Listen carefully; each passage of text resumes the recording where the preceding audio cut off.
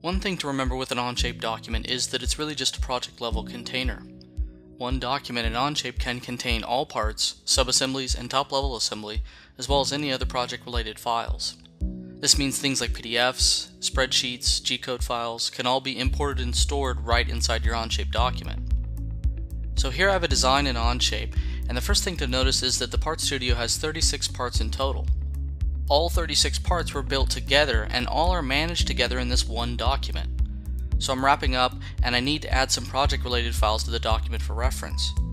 To import any file, select the import from the bottom left menu. Then just browse to the file you'd like to insert. Remember, any file extension can be imported to a document. To import multiple files to a document at once, you can shift select. Files that can be viewed by your web browser can also be viewed right inside Onshape. Some examples of these are PDFs, most images, video, and even text files. So with Onshape I can store all my project related data in one document.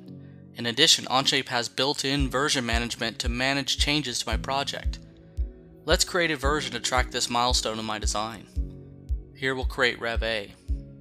With traditional CAD I would be concerned about managing the versions of 36 individual part files. This is not the case with Onshape. And it's not just CAD data being versioned. All the project related files that I imported are also version managed and if some changes are made to one of those project related files, an update can be made to the Onshape document to track the history. With Onshape, data management capabilities are built in and not just for CAD.